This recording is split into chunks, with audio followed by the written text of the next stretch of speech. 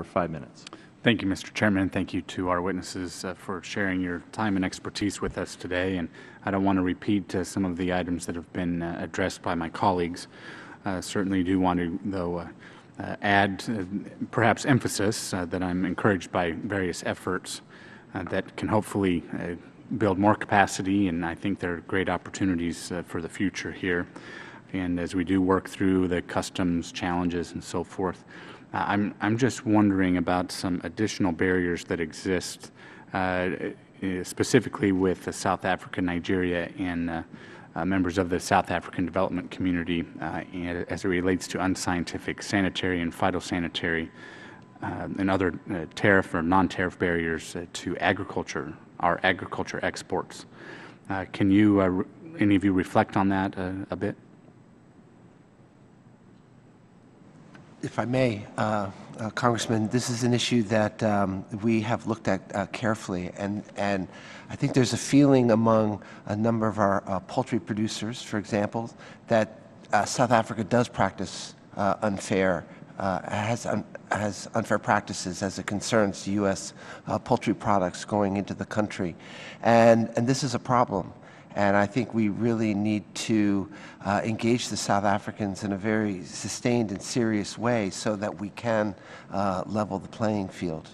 Because South Africa is a very important partner to the United States. We tried to develop a free trade agreement 2003, 2006, and it didn't work. South Africa has a free trade agreement with the EU. And it suggests to me that we really haven't we haven't sorted out our relationship. So there are a number of issues, and I would like to see us really take a step back, engage in a sustained exercise between the U.S. government and the South African government to really chart what our, our commercial future looks like and how we get to sort of a post-AGOA relationship, because I think it's going to start there, and we haven't done a good job to really uh, embrace that challenge. Okay. Uh, Mr. Leo, in your testimony, you mentioned the, the, preferential access under AGOA should be contingent on noticeable economic improvements. Uh, would you suggest that, that these improvements would include ironing out these, uh, these disputes based on the uh, sanitary, and phytosanitary, SPS, if you will, uh, standards or various trade policies relating to that? Th thank you, sir, for, for the opportunity to comment on this. Um, in, uh, in full transparency, I'm not intimately familiar with, with this set of, of issues related to, to South Africa. In terms of the eligibility requirements, though, more broadly, I think there's a couple of guiding principles that should be applied if, uh, if Congress decides and the executive branch decides to go in this direction. I think it needs to be real, um, and transparent in terms of the principles that would be applied to all countries and would be um, um, tracked by third-party data that's public. So it's, in essence, it's apolitical in terms of action has either been taken or it's not been taken.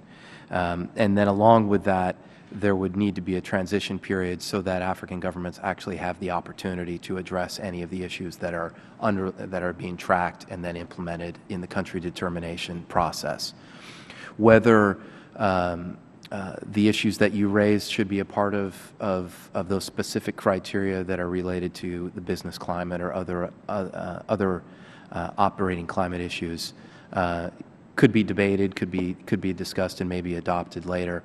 Uh, at this point, I've, I've, focused more in terms of what the guiding principles should be with specifics that could be fleshed out later if, uh, if the parties that be decide that this is a, a sound way to go, which I believe it is in, in, in uh, general terms.